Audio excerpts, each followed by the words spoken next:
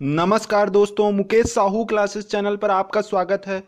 लाल colour का subscribe button दिख रहा होगा, उसे दबा दीजिए, उसके बाद बेल आइकन दिखेगा, घंटी का चिन्ह दिखेगा, उसे दबा दीजिए, ताकि सभी वीडियो सही समय पर आप देख सकें बिल्कुल फ्री में।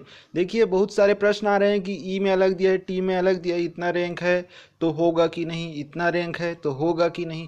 चलिए थोड़ा इसमें अपन देख लेते हैं कि ई और टी अलग अलग रैंक दिया है तो किस तरह का इसमें तरीका होगा सिलेक्शन का और आपका ई में कुछ अलग दिख रहा है टी में अलग दिख रहा है, वो उसका कारण क्या है? तो ये है मुकेश साहू क्लासेस गूगल में सर्च कर लीजिए, मिल जाएगा। आपको सभी वीडियोस या यूट्यूब में सर्च कीजिए। देखिए, चलो हम मान लेते हैं कि जनरल ओबीसी की बात जनरल की बात कर रहा हूँ कि जनरल में आपका जीव विज्ञान में है, मान लीजिए कि साठ है, किसमें? साठ है ई ई ई कैडर में और टी कैडर में है मान लो सौ। मान लीजिए एग्ज़ाम्पल के लिए और आपका रैंक है टी में है आपका एक सौ एक सौ साठ और ई में है आपका एक सौ नब्बे। अब सोच रहे होंगे कि इसमें एक सौ नब्बे, इसमें एक सौ साठ क्यों है? ऐसा इसलिए है कि कई कैंडिडेट्स ऐसे हैं जिन्होंने ई e में तो सेलेक्ट किया था, लेकिन टी को सेलेक्ट नहीं किया था। इसलिए वो टी में काउंट नहीं हो रहे हैं और उनके ना होने के कारण ही आप 160 रैंक में हैं। अब यहाँ से क्या दिख रहा है कि यहाँ 190 पे हैं आप और यहाँ 160 में हैं, इसका मतलब ये है कि 30 कैंडिडेट ऐसे हैं जो ई e में अप्लाई किए हैं और टी में अप्लाई नहीं किए हैं, इस रैंक तक 190 रैंक तक ई संवर्ग में। और वो 30 का नंबर जो है, वो आपसे ज़्यादा है। क्योंकि देखिए, आप यहाँ पर 160 में हैं मतलब नंबर, पेपर तो एक ही दिया है आपने, और उसी पेपर के आधार पर रैंक बने हैं। यहाँ आपका रैंक 160 है, जबकि यहाँ 190 इसका मतलब क्या है?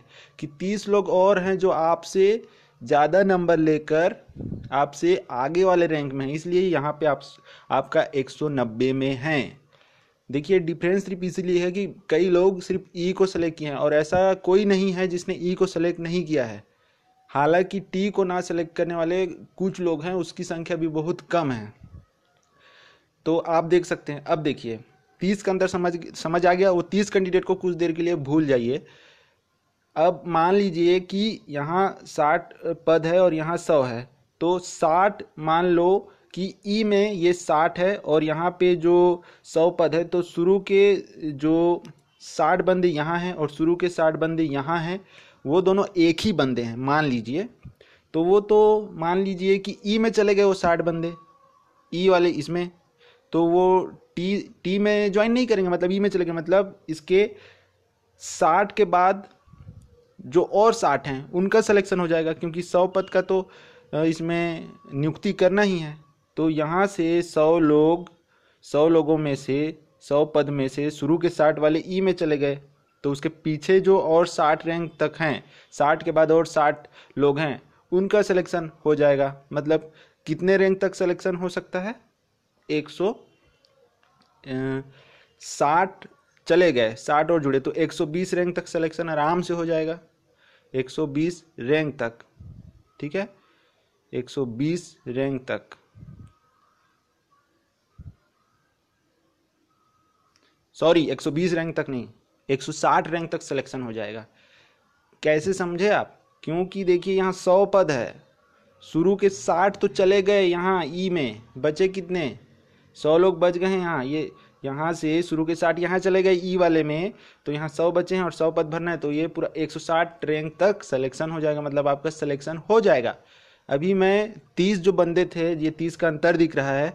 तो उसको छोड़ने के लिए बोल था। अब दूसरा केस बता रहा हूँ। मान लो वो तीस बंदे को भी हम काउंट कर रहे हैं, क्योंकि क्योंकि उनका नंबर आपसे ज़्यादा है, तभी तो आपका यहाँ एक सौ बीस, एक सौ नब्बे हो गया, एक सौ साठ यहाँ था यहाँ एक सौ नब्बे हो गया, क्योंकि तीस लोग आपसे आगे हैं।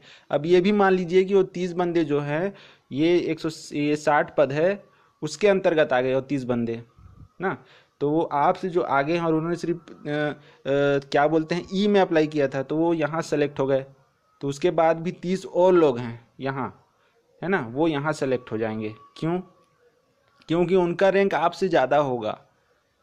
क्योंकि उनका रैंक आपसे ज़्यादा होगा, क्योंकि साठ और तीस नब्बे, जबकि आपका कितना है? एक सौ नब्बे।